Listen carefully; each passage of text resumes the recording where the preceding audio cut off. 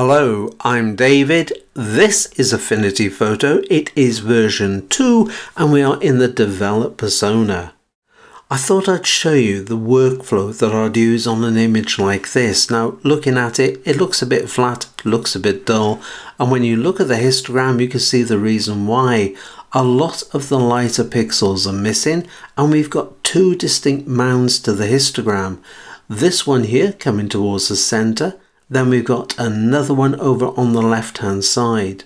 So we're going to start by moving the histogram more central. We're going to go down to the exposure slider, moving it to the right hand side. You can see the histogram going over. I'm going to take it to this sort of position. There will do nicely. Now that we can see the image, I always check out the white balance even though my camera does a very good job. So pressing W on the keyboard has now given me the white balance tool. Now we're after a mid-tone grey. Now there should be plenty around here, but making life a little bit more interesting, I'm going to select the barn and as I click down, notice the way the white balance panel has sprung into action that actually doesn't look too bad. Let's try again and you can see the way that every time I click down gives a different look to it. I'm going to leave it like that. I quite like that. The, the temperature's about right. Tint I think is uh, just needs a bit of tweaking. There's a fair bit of green so I'm going to take it into the magenta as we lift the magenta back and forward a bit there, that actually looks really good. So I'm going to leave it like that. Now the next thing I do is have a look around, see if there's anything that we can crop out. Well, the barn, alright, it helped us out, but it's just a little bit too far over the edge and we got a fair bit of space in the foreground. Pressing C on the keyboard has now given us the crop tool. Let's bring this in from the side, just removing the barn, taking it over the edge like that. Coming down to the bottom, we're going to lift it up. Now I'm using the overlay of the third grid. So that would put the mountains on the third. I'm going to drop it down just very slightly. There we'll do nicely. Double clicking to apply the crop. And there it is. And I think that works really well. It almost gives a panorama style image. Right, next, what I always do is divide the image up. We've got an area of sky, we've got an area of land. If we had a lake, if we had sea, I would also treat that separately. And first of all, I want to darken down the sky. So it's over to the overlays panel. Let's go down to add gradient overlay. Come into the center, the top. I'm going to drag this gradient down. Let's take it to this sort of position. Over to the basic tab Coming to exposure, I'm going to move this to the left hand side. That's going to darken the sky down. That's starting to look really good. Let's go down to contrast. Moving this across to the right hand side, darkens it down, also gives a little bit more definition to the edge of the clouds. Just wish we had clarity, but there is a workaround and we'll try that just a little bit later. You can also come to the grab handles. You can move that down. You can see the way we can just drop that level of darkness down. But I'm going to take it to this sort of position. Here will do nicely. Perhaps just bringing that back a touch there. Right, next, let's have a look at the foreground. We're going to go back down to add gradient overlay. Let's go to the bottom. Let's lift it up. I'm going to take it to this sort of position here over to basic, taking the exposure to the right hand side, that's going to increase the brightness. There, that's looking really good. Let's leave it like that. Going back to overlays, always make sure you go to master, then you can go to any of the other tabs. You can make adjustments and it's going to be for the entire image rather than just that gradient. Okay, now we've done this, just pressing H on the keyboard let's go over to the photo persona. But this is where there's been some of the big changes in version 2. Let's have a look. Now before we had pixel layer which was destructive. In other words, you cannot come back, you cannot change it. But now in version 2 we have raw layer embedded and raw layer linked. So what's this all about? Well, raw layer embedded is going to take the original raw file. It's going to add all the information that we've done here into that raw file. It's going to take all the information we do in the photo persona, the layers, the adjustment layers, anything else we do to it, and it's going to store it in that one file. Pretty neat. You can move that file around. You can put it on external hard drives. You can put it on a USB. But the downside, and it's a big downside, and I mean very big downside, it's going to be a couple of hundred megabytes in size. The alternative is to use raw layer linked. Now this is going to take the original raw file, in this case it is 50.6 megabytes in size. It's going to create another file. Now that file is going to contain all the information we've done here, all the information we do in the photo persona, uh, does depend, the file size will depend on the amount of layers you add to it, but it's going to create for this image, it's going to be round, I'm guessing, but round about the 10, perhaps 12 megabytes in size. So it's going to be much smaller. Now the downside is if you were to move them to external hard drives and you leave one of the files behind, you're in trouble. You've either got to re-establish the link or start again. However, there is a workaround put both the files into one folder. Job done, you can move them around. Now I use external hard drives anyway, so this is the one I always use. So let's use it and clicking on develop is going to take us to the photo persona. And that's looking pretty good, happy with this. Now I did wait I must be honest, for a fair while for the cars. This was the least amount of cars. I quite like this one. I think this helps to tell a bit of a story. In other words, we're off for a drive into the mountains. These cars, particularly that red car, if I just put my cursor over it, you can see without it, looks much better, but it really does grab your attention being red. So we're going to get rid of these, but do not use this layer and don't use it in any case, never use a background layer. And the reason for not using this particular layer is if I bring my cursor to the side, it is raw. Now this will give us the option to go back into the develop persona. So do not touch this layer.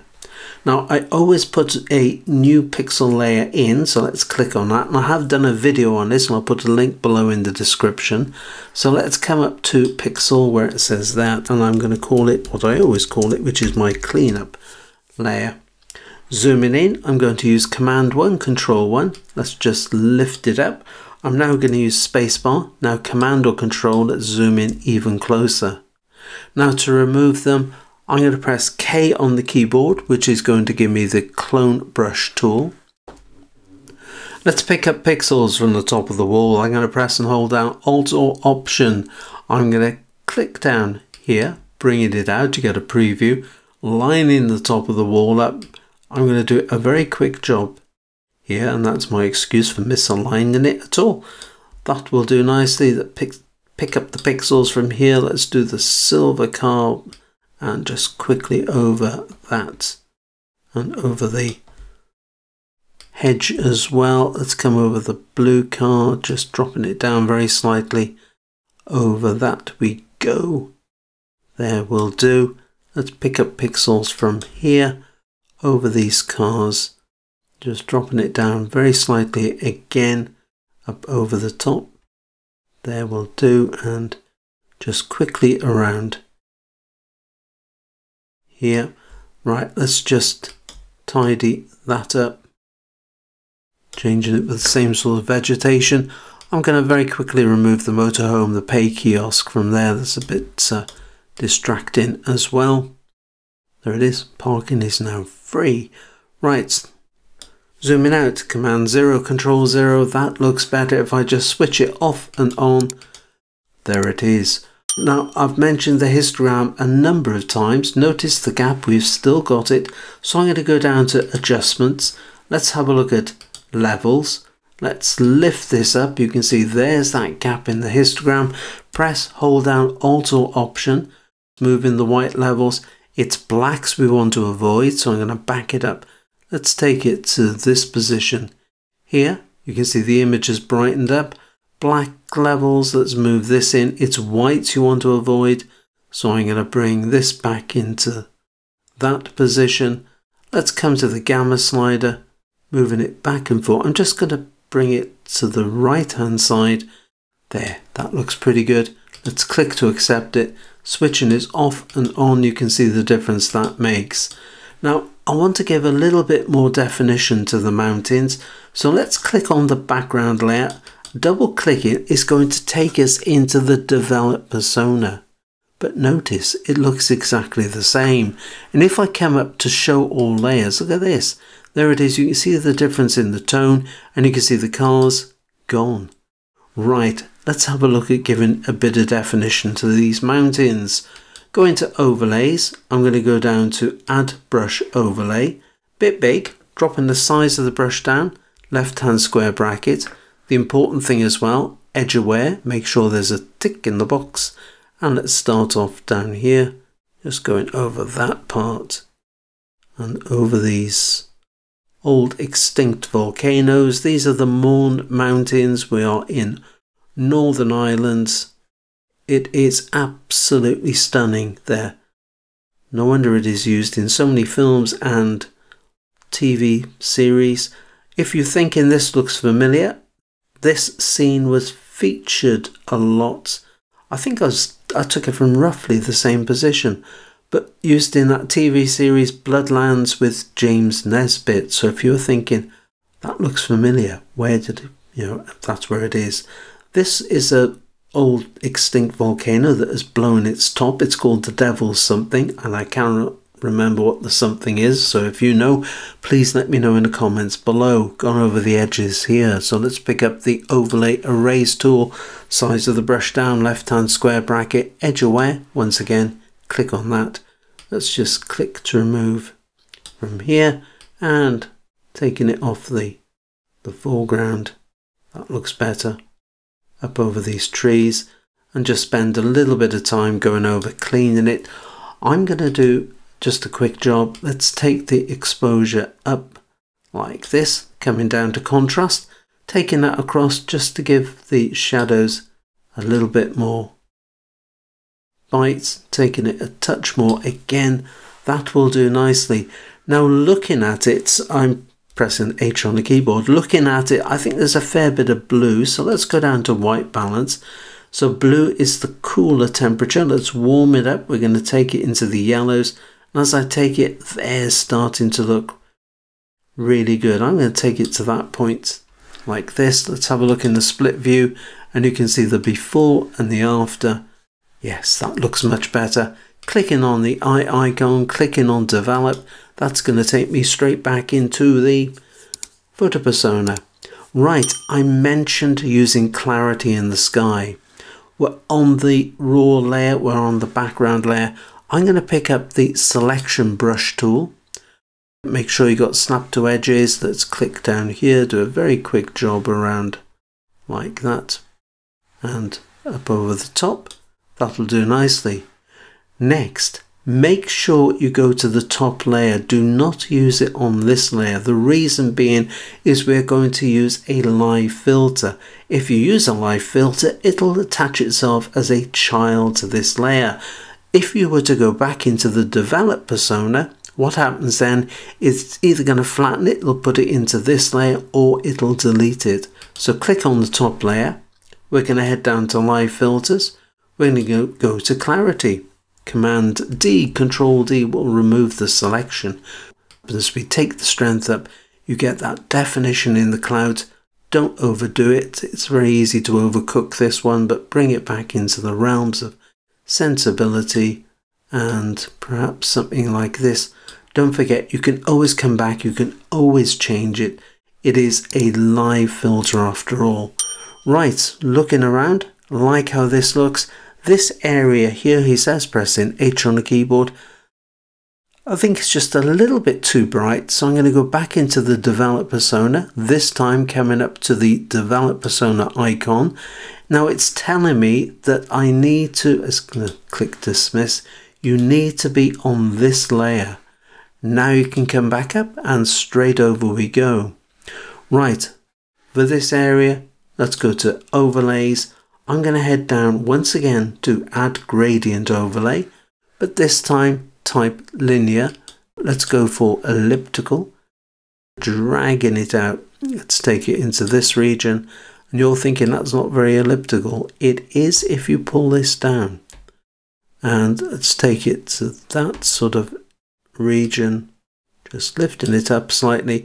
You can come to this little slider here. You can vary where it's going to have. This is the most effect. It's then going to feather out. Let's leave it like this for the moment. Head into basic, taking the exposure down. Let's take the saturation up as well. That's starting to look good. What I like about this is we've still got that cyan around the outside. You can always vary it as well by just moving that slider back and forth. Let's leave it in this position.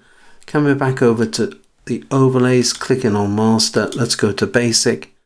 And there it is. Now if you think it's a bit over the top, which it is, I'm going to go back over, quickly spotted this, go into gradient, I'm just going to use the opacity slider. You can fade that back as well. So there it is. And let's go to basic just to prove it is all completely non-destructive. If I press C on the keyboard, let me just uh, scroll up for a second. There's the foreground. There's the barn. You didn't really think I was going to crop it out after it helped us out, did you? No. Still there, pressing H on the keyboard gives me back the hand tool. Pressing Command 0, Control 0 to go to Fit on Screen. Let's click Develop. That's going to take us back and there it is. Save this as a .af photo file. You can then reopen it at any stage. You can come back. You can go back into the Develop persona. Looking at the sky, I think I have done it a little bit uh, too much. So let's just rein that back into here. And there it is. Go on give it a try. I hope you've enjoyed the video. Give it the thumbs up if you have. Don't forget to subscribe. Plenty more videos to come. And if you click that little bell icon you'll receive a notification every time a new video is posted. But until the next time it is happy imaging and take care